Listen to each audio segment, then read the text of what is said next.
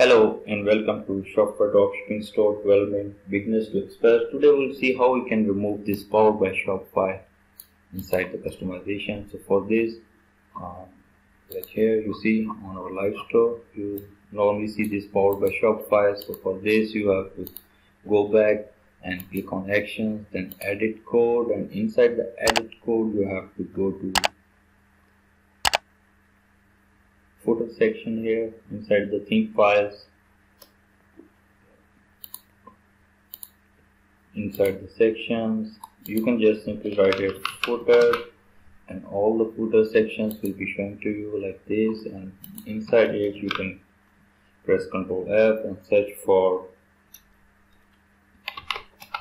power and here you see a power bar link so you can just simply select it remove it click on save and once you will save it you will have to go back and preview your store and you will see that there is only name of your store is visible here just to zoom in and see you so you can see it properly.